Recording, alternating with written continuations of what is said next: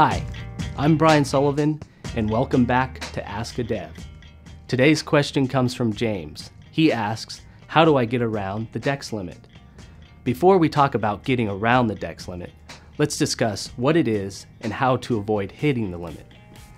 Android applications contain bytecode in the form of Dalvik executable, or DEX files. The build architecture limits the total number of methods that can be referenced within a single DEX file to 65,536, or 65K. This number includes Android framework methods, library methods, and methods in your own code. So, before configuring your app to enable use of 65K or more method references, you should review your app's direct and transitive dependencies and remove unused code with ProGuard.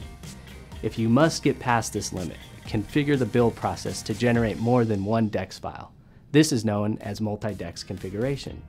Setting up your app development project to use a multi-DEX configuration requires that you make a few modifications.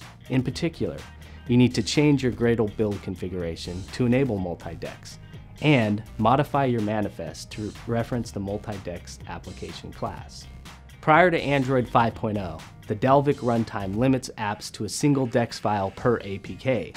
In order to get around this limitation, you can use the multi-DEX support library, which becomes part of the primary DEX file of your app, and then manages access to the additional DEX files and the code they contain. Android 5.0 and higher uses a runtime called ART, which natively supports loading multi-DEX files from the application APK files. ART performs pre-compilation at application install time, which scans for multiple DEX files and compiles them into a single OAT file for execution by the Android device. Fortunately, Android released build tools for multi-DEX in late 2014.